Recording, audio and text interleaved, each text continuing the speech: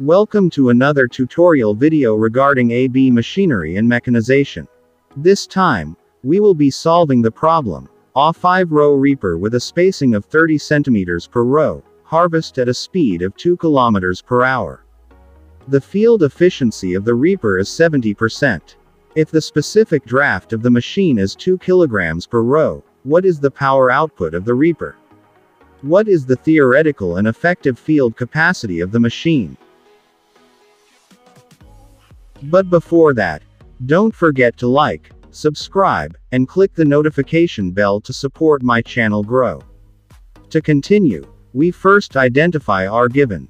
We have the number of reaper row to be 5. The row spacing to be 30 centimeters. The harvesting speed to be 2 kilometers per hour. The field efficiency to be 70%. The specific draft to be 2 kilograms per row. The required were the power output of reaper, the theoretical field capacity and the effective field capacity. After identifying the given and the required in the problem, we proceed with our solution. The first value that we are going to solve is the value of our power output of the reaper. The formula to solve its values is getting the product of specific draft times the number of row, multiplied to the speed of harvesting. We simply substitute values and we have Power output of reaper is equal to the product of specific draft to be 2 kg per row, times the number of row which is 5, multiplied to the speed of harvesting of 2 km per hour. We simply solve and we have 10 kilograms, times 2 kilometers per hour. We have to convert the hour unit to second using the conversion factor. 1 hour is equal to 3600 seconds. Also, the kilometer unit to meter.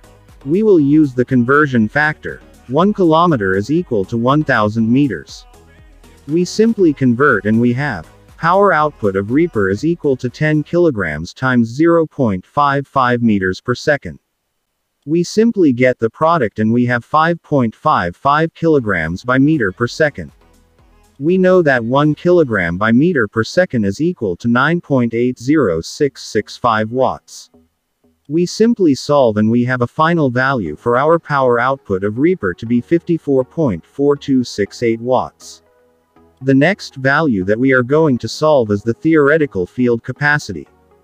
To solve for the theoretical field capacity, we simply get the quotient of the product of speed in kilometers per hour, times the number of row times the row spacing all over the constant value of 10. We simply substitute values and we have Theoretical field capacity is equal to the product of speed which is 2 km per hour, times the number of row, which is 5, times the row is spacing to be 30 centimeters. We have to convert centimeters to meters using the conversion factor 1 meter is equal to 100 centimeters, all over the constant value of 10. We simply solve and we have Theoretical field capacity is equal to 2 km per hour times 1.5 meters all over 10. We solve and we have a final value for our theoretical field capacity to be 0.3 hectare per hour. The next value that we are going to solve is the effective field capacity. The formula to solve for its value is speed in kilometers per hour, times the number of row times the row spacing, multiplied to the field efficiency, all over the constant value of 10.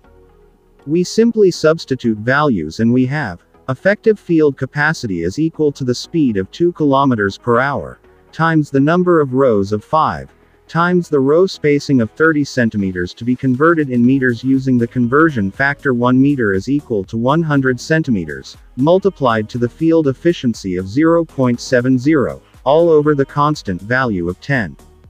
We simply solve and we have a final value for our effective field capacity to be 0.21 hectare per hour.